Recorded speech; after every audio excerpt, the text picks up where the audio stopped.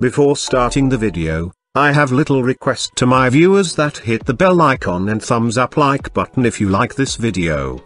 The Lenovo IdeaCentre 3 is a compact Windows desktop tower, designed in a sleek silver chassis that fits and looks great anywhere in your home. It has the powerful performance of an AMD mobile processor with Radeon graphics, plus plenty of memory storage, and ports for your everyday computing needs. With only a 7-liter volume, this slim desktop PC is both space-saving and stylish, quick and powerful.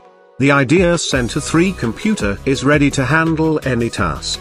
The Athlon 3050U mobile processor is incredibly responsive and great at multitasking, keeping up when you run multiple applications at the same time. Plus, with 256GB SSD storage, there's plenty of space for photos, music, and more. Stay plugged in with ease with this desktop computer's 6 USB 2.0 ports and 2 USB 3.1 ports.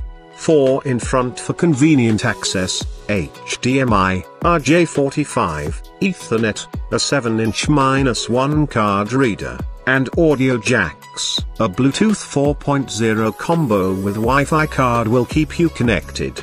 Buy this desktop from the link provided in the description of the video. That's it.